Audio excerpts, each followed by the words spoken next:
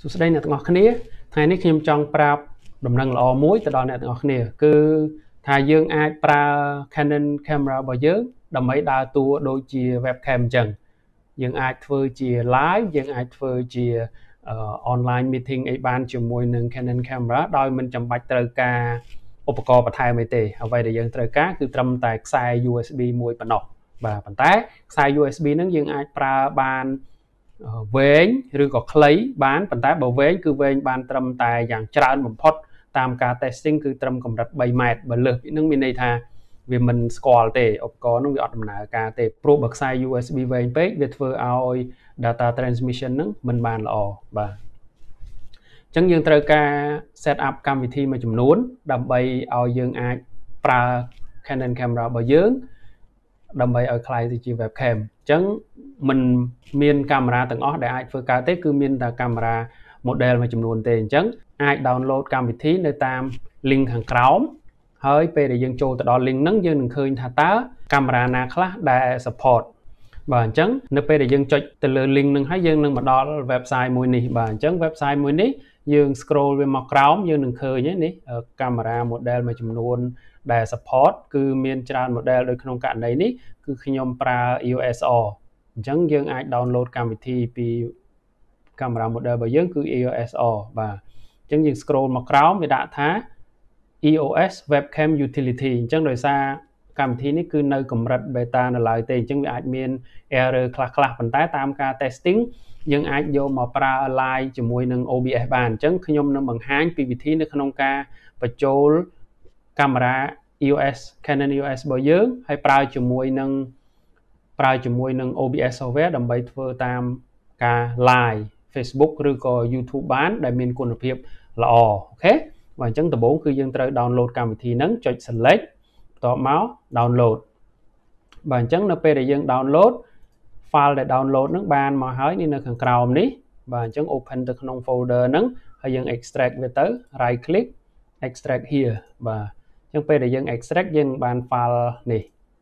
EOS webcam utility អញ្ចឹង install កម្មវិធីនឹងទៅបន្ទាប់ពីយើង install ហើយគឺយើងត្រូវ restart computer មួយសិនបាទអូខេអញ្ចឹងដោយសារខ្ញុំបាន install ហើយ restart រួចហើយអញ្ចឹងយើងគ្រាន់តែ install អត់មានពិបាកអីទេគ្រាន់តែ double click ទៅហើយមើលតាម instruction បាទអូខេបន្ទាប់ពីយើង install នឹងហើយគឺយើងត្រូវដោតខ្សែ USB បាទខ្សែ USB អញ្ចឹង នៅក្នុងកាមេរ៉ារបស់យើងពេលខ្លះកាមេរ៉ាមួយចំនួនគឺប្រើ macro USB កាមេរ៉ាមួយចំនួនគឺប្រើ type C អញ្ចឹងបើដូច EOS R គឺប្រើ type C អញ្ចឹងខ្ញុំដោត type C ជាប់នឹងកាមេរ៉ាបាទអញ្ចេះ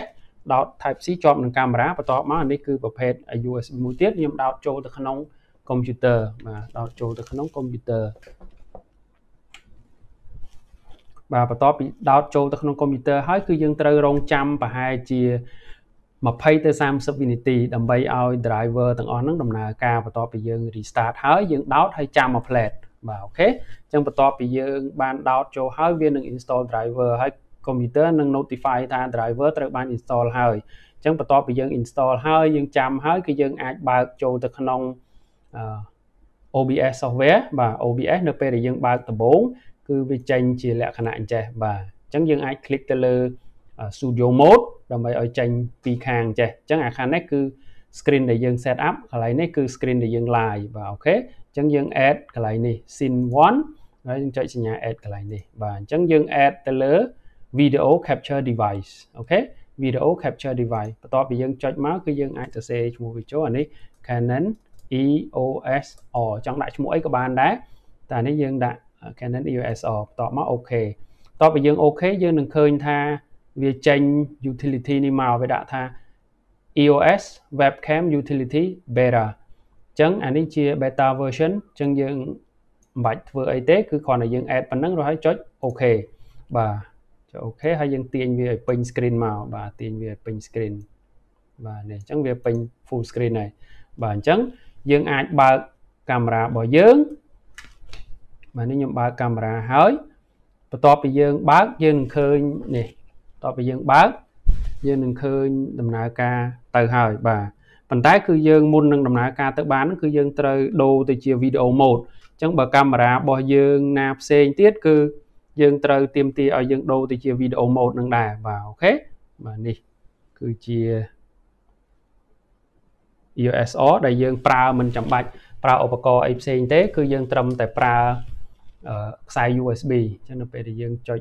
នេះមកអញ្ចឹងវាបញ្ជូនរូបនឹងចេញហើយអញ្ចឹងនៅពេលដែលយើង live យើងនឹងឃើញរូបនឹងបូកជាមួយនឹងសំឡេងដែលយើង add បញ្ចូលបាទអូខេអញ្ចឹងអានេះគឺងាយងាយនៅក្នុងការ set up កាមេរ៉ារបស់យើងដើម្បីប្រើជា webcam ដោយមិនចាំបាច់មានឧបករណ៍ឬក៏ capture card អីដទៃទៀតទេគឺយើងគ្រាន់តែមានកាមេរ៉ាខ្សែ USB រួចហើយដោតបញ្ចូលទៅក្នុងកុំព្យូទ័រដោយ install EOS webcam utility អញ្ចឹងយើងអាចដំណើរការបានដោយមិនចាំបាច់ទិញឧបករណ៍អីបន្ថែមបាទអញ្ចឹងបញ្ជាក់ផងដែរ គឺយើងអាចដោតចូលទៅក្នុងកុំព្យូទ័រតាមតែខ្សែប្រភេទ USB Type A ទេបាទអញ្ចឹងបានប្រភេទ USB ធម្មតាកុំដោតចូលទៅក្នុង Type C នៅក្នុងកុំព្យូទ័រព្រោះដោយសារ port Type C នៅក្នុងកុំព្យូទ័រមិន support លក្ខណៈ video downlink អញ្ចឹងទេបាទអូខេបាទអញ្ចឹងសង្ឃឹមថាអ្វីដែលបានប្រាប់ទៅនេះគឺជាព័ត៌មានមួយដែលយើងអាចប្រើប្រាស់កាមេរ៉ា Canon របស់យើងឲ្យមានប្រសិទ្ធភាពជាងមុនបាទអូខេជួបគ្នានៅពេលក្រោយបាយបាយ